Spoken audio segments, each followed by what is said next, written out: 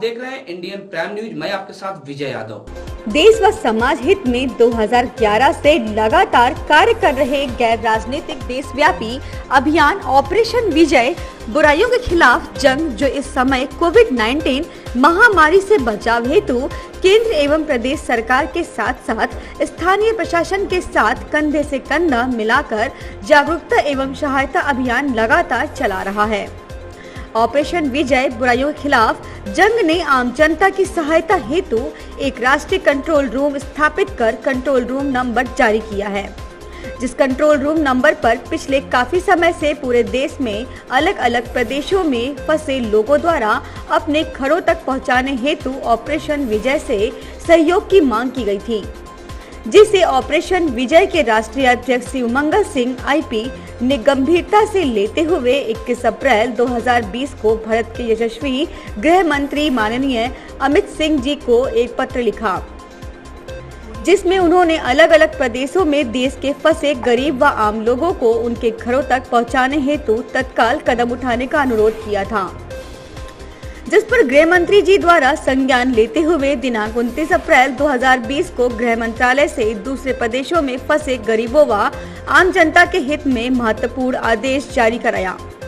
Operation विजय के पत्र के बाद गृह मंत्रालय द्वारा गरीबों के हित में जारी किए गए आदेश पर खुशी ज़ाहिर करते हुए ऑपरेशन विजय के राष्ट्रीय अध्यक्ष शिव मंगल सिंह ने गृह मंत्री जी का आभार जताया और कहा कि गृह मंत्री जी द्वारा देश व समाज हित में हमारे 21 अप्रैल 2020 के पत्र पर अमल कर गृह मंत्रालय से गरीबों के हित में आदेश जारी कराना। ऑपरेशन विजय बुराइयों के खिलाफ जंग के साथ बुराइयों से लड़ रहे पदाधिकारियों, मीडिया बंधुओं व ऑपरेशन विजय की विचारधारा पर काम करने वाले लोगों की देश व समाज हित में जीत है। Bureau report, IPN. कोविड 19 विश्वव्यापी महाआपदा में भारत की जनता को बचाने के लिए भारत सरकार, उत्तर प्रदेश सरकार एवं स्थानीय प्रशासन के साथ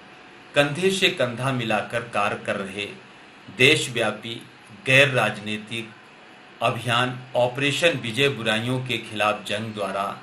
एक जागरूकता एवं सहायता अभियान के साथ साथ एक देश स्तरीय कंट्रोल रूम स्थापित किया गया है, जिसमें एक नंबर जारी किया गया है। जिस नंबर पर पिछले करीब दो सप्ताह से पूरे देश में अलग अलग स्थानों पर फंसे हमारे गरीब, प्रवासी मजदूर व आम लोगों ने वहाँ की परेशानियों को देखते हुए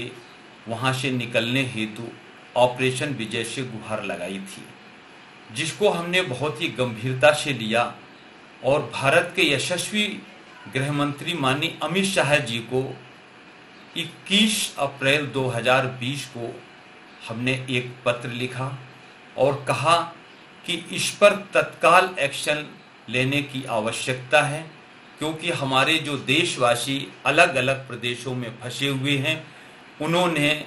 बहुत ही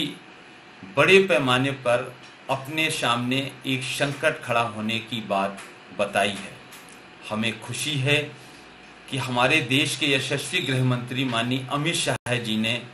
हमारे पत्र पर अमल करते हुए कल 29 अप्रैल 2020 को एक गृह मंत्रालय से आदेश जारी कराया, जिसमें हमारे सभी देशवासी जो अलग अलग प्रदेशों में फंसे हुए हैं, उनको अपने घरों तक एक एक शर्त के साथ पहुँचने का रास्ता प्रशस्त किया है। हमें आशा ही नहीं, बल्कि पूर्ण विश्वास है कि गृह मंत्रालय के ये जारी हुए आदेश पर जो हमारे देश के लोग अलग अलग प्रदेशों में फंसे हुए हैं, उनको वहाँ से सकुशल इस कोविड 19 महामारी से बचते हुए लॉकडाउन के नियमों का पालन करते हुए अपने घरों तक पहुँचेंगे। और ऑपरेशन विजय बुराइयों के खिलाफ जंग जो लगातार कोविड 19 महामारी को जड़ से समाप्त करने के लिए कई अपनी टीमों के साथ एक हाईटेक तरीके से जागरूकता एवं सहायता अभियान चला रहा है।